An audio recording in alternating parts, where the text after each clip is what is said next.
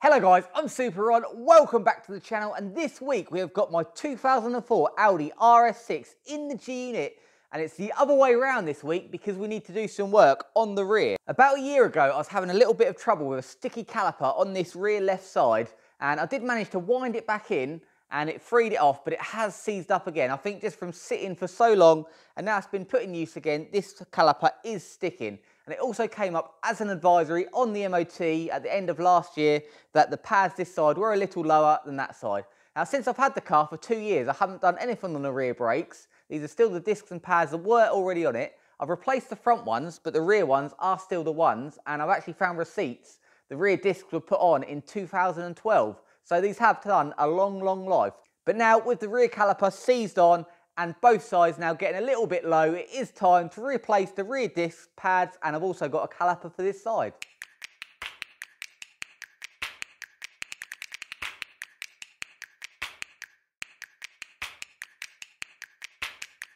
The big problem with using these RS cars daily is the price of consumables like brakes and suspension because they are horrendously expensive. Brake discs for these are about £500 a corner. Pads are nearly £200 for the front and about £100 for the rear. So you're probably looking at £2,000 to replace the discs all round, which is a lot of money. So it's why you see so many of these RS cars for sale with worn discs all round. So it's really something you need to check because you might think you're getting a bargain, but you see an RS4, RS6 or RS5 with worn discs you've got a two grand bill coming up before you even start. So like I said, I've already replaced the front discs and pads when I got it, and when searching around the C5 forums, the acceptable replacement to use over the main dealers are Zimmermann discs. They're the only aftermarket company that actually makes the discs for these because they are two-piece. So you've got the alloy centre, and then you've got the steel rotor. So not many companies make these as an aftermarket replacement. But I've got Zimmermann discs on the front and they've had no problems and they come in at a great price. So I've got the discs from Autodoc. They're a German company that'll get all my bits for this, suspension parts. They managed to get hold of all the OE brands at a great price. They are based in Germany, so you're waiting for about a week plus for delivery, but for the price, you just can't go wrong. These come in at about £200 each, so it is quite a lot of money for brake discs, but in the RS world, it is a great saving. And for the brake pads, these are still available from Audi, but I've done a little Google on the part numbers and I've got these genuine Volkswagen Group pads for the rear and I actually picked them up cheaper than I can get them direct from TPS. So they're genuine ones, stamped with Audi. Maybe they're just new old stock from somewhere or someone else got hold of them. But these are about 70 quid delivered to my door. The only thing I couldn't get genuine because they're discontinued, they no longer make calipers for this car. As factory, they're made by TRW, and luckily TRW are still making them, so you can get fully refurbished calipers. These ones come from Euro Car Parts with their offers on. These were 188 quid, so it's not really too bad of a price considering the size of them and these ones do come powder coated black, just like factory. Something I did do on the discs before is, although these are alloy centres, they do tend to corrode up and look a bit scabby. So what I did on my last ones is I got some silver caliper paint and sprayed the centre bells just so they're nice all silver and shiny. So when you wash it, these all come up like glossy and silver. So it really makes the bells stand out. So it's not necessary, but over time, these do start looking a bit grey and a bit grubby in the centre. At least they're not rusty because they're not steel, but just behind the nice shiny wheels, it is good to put a bit of silver. So I'm going to do that first, heat that up so that sets on there, and then we can get all the bits put on the car.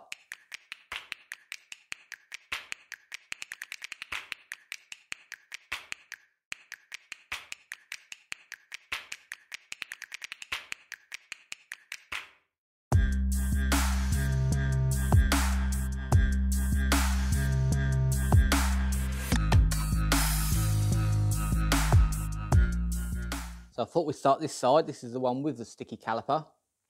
You can see the discs are getting a bit low now, so we'll do it all at once.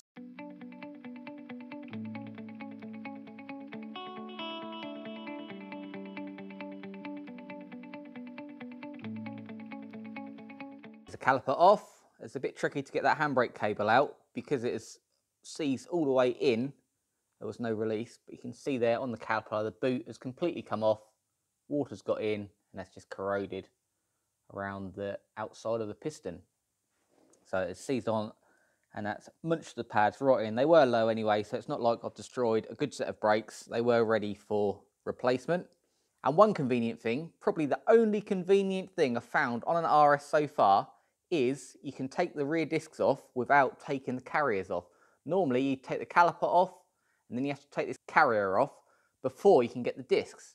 But on the RSs, they come out. So thank you very much, Audi.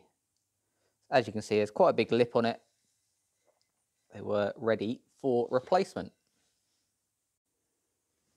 We have got all new boots and everything to go on these because these have perished as well.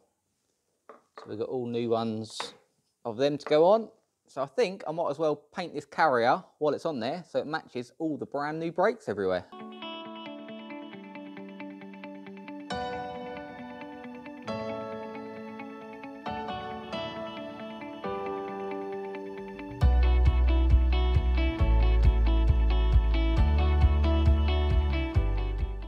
Paint's all nice and dry on the bells now. As you can see, it's give that glossy finish. The coating on the disc, they are protected. It just doesn't look quite as nice. I did these ones when I got it on the old discs. And they still look like brand new two years later.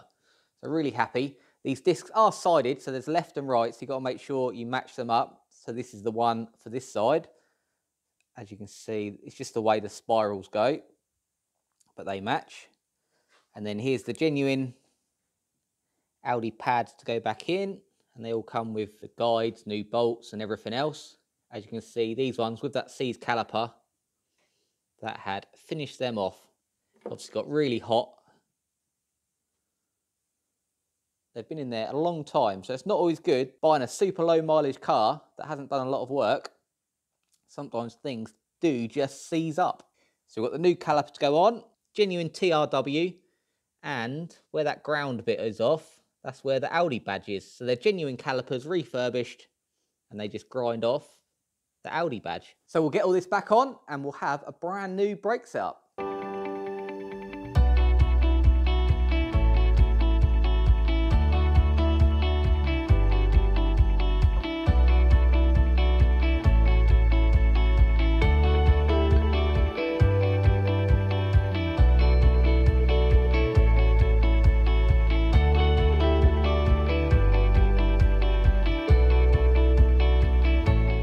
All back on and looking fresh. You saw me put the pads in. There's no need to cover these in copper grease like you used to back in the day. You have a built-in, come with a foam backing on the pad. So I just put a little dab on each little ear that goes in those sliders. The other thing you may have noticed is the old caliper is still attached. I haven't disconnected the brake fluid line yet because I want to have as little time as possible with it all unplugged, so there's minimal fluid loss and you don't drain the master cylinder or anything. But now we're all on, we're all bolted on, so I think it's time to disconnect that brake line and put it to the new caliper. Then handbrake cable on, quick bleed, and we are done.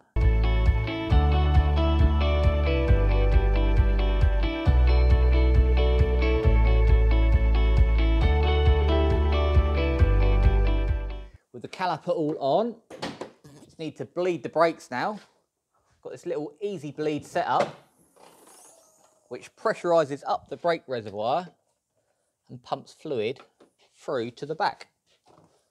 It's a great little thing. So you just go onto a tyre and it makes one man bleeding a lot easier. And then it builds up its pressure from the tyre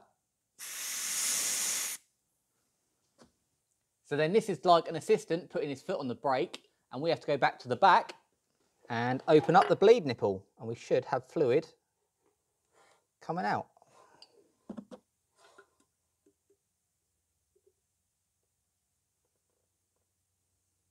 Just like that.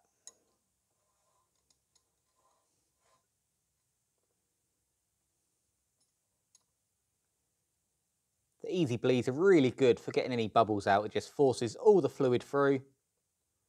And it is as easy as that.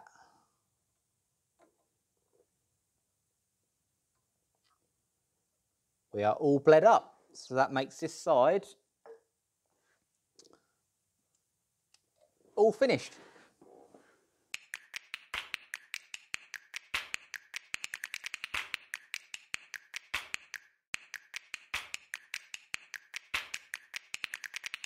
Onto this side, so this should be a nice easy, just a disc and pad change.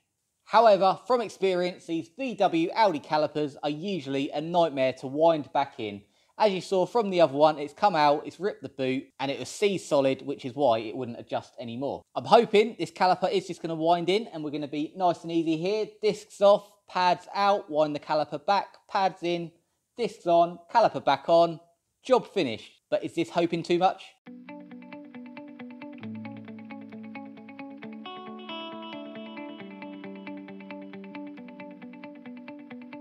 Initial inspection, not too bad. The problem starts when these rubbers get snarled up and then as it's twisting round, it just pulls the rubbers out. But this rubber seal looks complete, soft, hasn't gone hard. So fingers crossed, we'll be able to get it out. What I'm gonna do is bolt it back in to its carrier because when you're twisting this to try and wind it back in, sometimes it's hard to hold both at the same time. So I usually try and bolt it back together and then that gives you a lot more purchase to winding the piston back in. So let's see.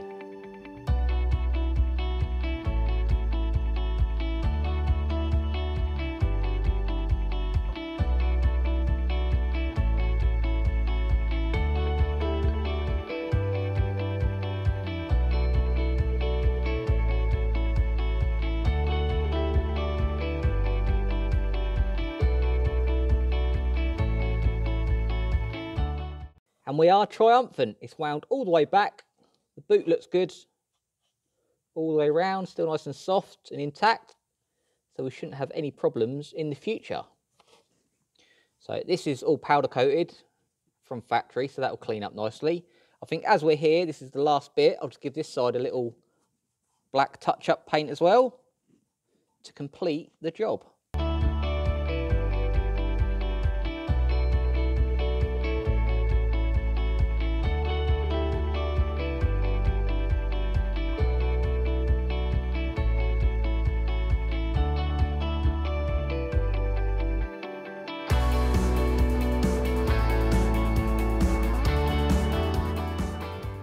Can see how much extra brake dust was coming off the one with the seized caliper.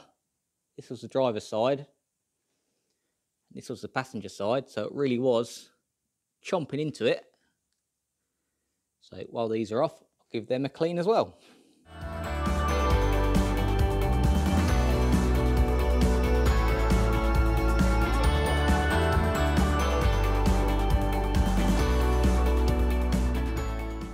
And another side on, all as good as new.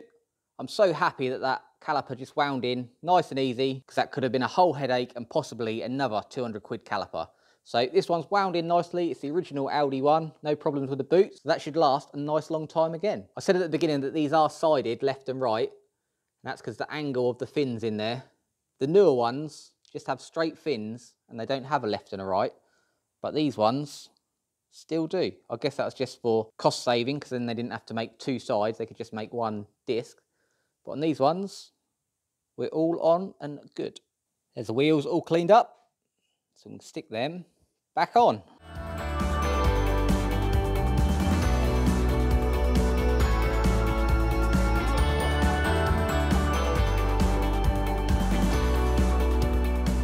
Here's all the old bits.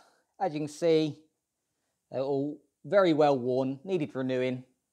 So with the C's caliper, it's a good opportunity to do it all together. So all these bits are now destined for the bin, all except for the caliper, because that does have a service exchange charge, which means we need to return the old caliper to get our fee back, which is one of the reasons I didn't get the caliper from Autodoc as well, even though that exact caliper was available, it just would have been a bit of a hassle sending that all the way back to Germany Whereas this one is about the same price from Euro Car Parts, and it's just a lot easier just to get the surcharge back this end. It was a lot of money. This is probably about 650 quid here, but it's just one of those things, when you drive an RS6, bits like this are expensive. It's a lot cheaper than it would have been from a main dealer. Just the parts alone would have been about 1500 quid, and the caliper's not even available from Audi. But they are big brakes, And when you've got a two ton car coming down from 200 miles per hour, they're the kind of things that you don't want to scrimp on. It may look like an estate, but it really is a supercar with a big body on it. That went a lot smoother than it could have done. The caliper this side bolted straight on, bolt off, and with the easy bleed, it does exactly what it says on the tin. Easy bleed, bleed straight up, no problems. The only bit I was really worried about was that other side caliper winding in because they're renowned from being seized on, just like this one is.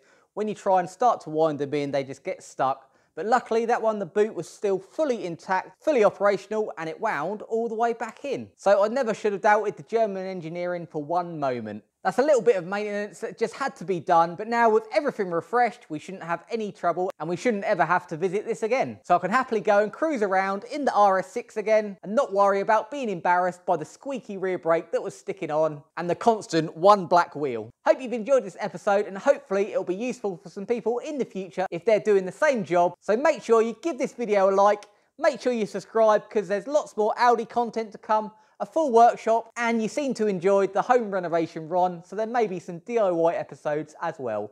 But until next time, make sure you have fun.